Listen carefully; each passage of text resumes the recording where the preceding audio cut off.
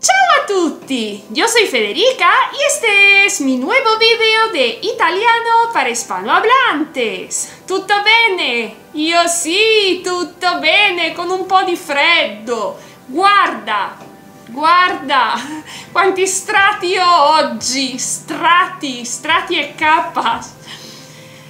Bueno, que he que hace mucho frío y que mire cuánto, cuánta capa tengo hoy. Strati. Así lo aprendes. Bueno, hace mucho frío, sí es verdad. Pero bueno, estoy aquí igualmente para hacer este vídeo, no pasa nada. Y hoy vamos a hablar del imperativo. Me dirás tú, pero si ya hablamos otra vez del imperativo y no dijiste que ya está, no haría más vídeos sobre gramática, pero bueno, es para aclararte algunas cosas. ¿Dónde se ponen los pronombres, vale? Porque sí es verdad que hablamos del imperativo, de la conjugación. Y si no viste aquel vídeo, lo puedes ver en este enlace. También te recomiendo que veas el vídeo sobre los pronombres directos en este enlace y sobre los pronombres reflexivos en este enlace. Ah, bueno, también sobre los pronombres mixtos en este enlace. Ya está, ¿vale? Bueno, ya puedes ver este vídeo. Si lo viste no pasa nada. Lo vas a entender bien. Pero si no viste aquellos vídeos te aconsejo que sí, los veas antes de ver este. ¿Vale? Bueno, entonces, ¿Qué vamos a ver en este vídeo? En este vídeo vamos a ver dónde se ponen los pronombres directos, dónde se ponen los pronombres mixtos y también cuando tenemos un imperativo negativo, ¿vale? Pues completito, ¿vale? Bien. Entonces, ¿dónde se ponen los pronombres directos? Bueno, con el tú ya sabes que el imperativo no tiene todas esas personas, es tú, nosotros, vosotros y también usted usted aparte. Vamos a empezar con tú, con vosotros y con nosotros, ¿eh? Vale. Entonces, manjala, ¿vale? Ese la es femenino. Acuérdate que, bueno, solo hay cuatro, te tienes que acordar de cuatro pronombres directos. La femenino, le femenino plural, lo eh, masculino singular y li masculino plural. Exactamente, solo de esto. Entonces, según si se refiere a algo femenino o masculino, singular o plural, utilizarás unos otros. Por ejemplo, la mela, mangiala, tú, mangiala. O, por ejemplo, i budini, los flanes. Mangiateli, vosotros, mangiate, ¿no? Pues si han visto el vídeo sobre la conjugación lo saben, mangiateli. ¿vale? Fácil, simplemente detrás le ponemos el pronombre directo. Ya está, así de fácil. Bueno, el usted no es tan fácil, ¿vale? El usted se pone antes, ¿vale? Por ejemplo, la mangi, la mela, la mangi. O, por ejemplo, la birra, la prenda, ¿vale? Siempre delante se pone. El usted es distinto de los demás. ¿Qué se le va a hacer? Pues nada, ¿vale? Ya lo sabes. No hay más que decir. Bueno, ¿qué más? Bueno, cuando tenemos más de uno, ¿qué pasa? ¿Vale? Por ejemplo, mangiamocela.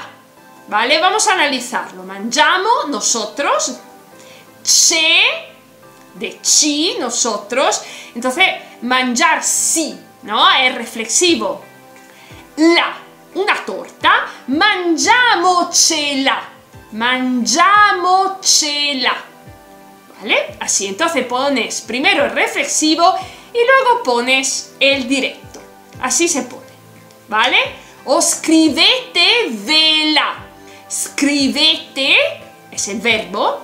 De a vosotros, ¿vale? La.